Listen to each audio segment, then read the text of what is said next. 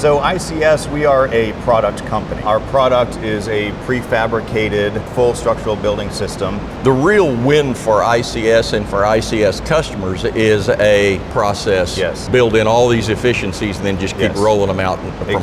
project to project. Yes. From an architectural and engineering perspective, what do you look for in a project that is a good fit? So what we look for is a high level of repeatability, a high level of consistency.